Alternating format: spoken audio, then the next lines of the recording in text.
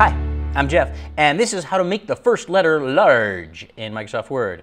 Now, you probably know what I'm talking about. That's probably why you're here. Sometimes you're reading a book, and the very first letter of the very first sentence of the very first paragraph of a chapter is just really, really big. So, once upon a time, the O is huge. It drops down a few lines, and we've all seen that kind of thing. It's a nice effect.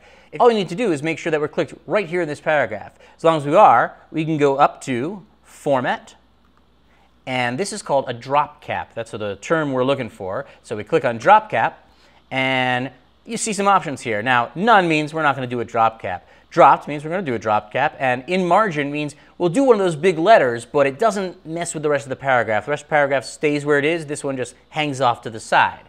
Let's go with the standard dropped drop cap so we can see what it does. And once we click that, you can see it gives us options for font, the number of lines to drop, the distance from the text, all these kinds of things. We'll go with the standard default for now because uh, it'll show you what it looks like. Hit OK to confirm, and you can see that the O has become huge, just like in your favorite fairy tale stories. Once upon a time, we made a drop cap, and there it is. I'm Geoph, and this is how to make the first letter large in Microsoft Word.